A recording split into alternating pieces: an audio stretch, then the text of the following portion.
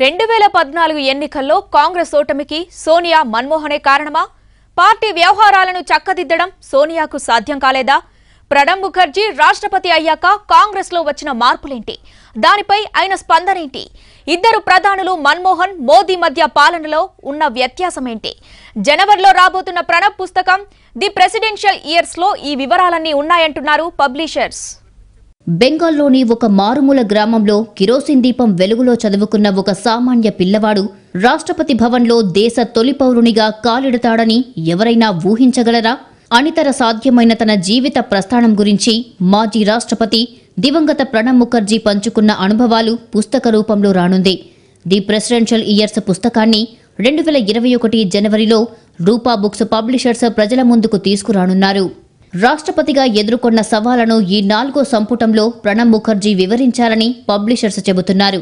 రాష్ట్రపతిగా తన పదవీ కాలంలో రాజకీయ ప్రత్యర్థులైన ఇద్దరు ప్రధాన మంత్రులతో తన అనుబంధాన్ని కూడా ప్రణబ్ ముఖర్జీ తన ఆత్మకథలో పంచుకున్నారు.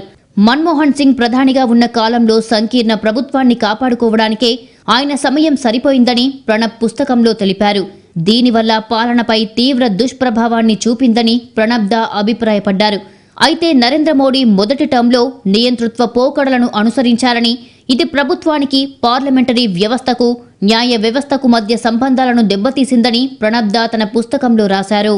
ఐదు దశాబ్దాలకు పైగా కాంగ్రెస్ పార్టీలో కొనసాగిన ప్రణబ్ ముఖర్జీ ఆ పార్టీ విధానాలను కూడా తప్పుబట్టారు.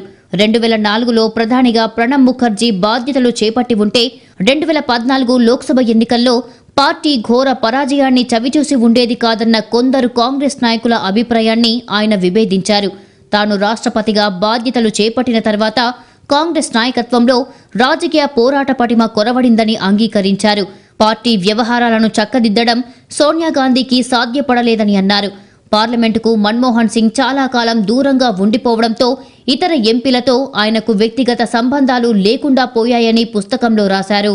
అత్యంత అరుదైన అపురూపమైన ఫోటోలు చేతిరాత ప్రతులతో కూడిన ఈ ఆత్మకథ పుస్తకం ప్రణబ్ ముఖర్జీ జీవితంలోని ముఖ్య ఘట్టాలను ఆవిష్కరించనుంది.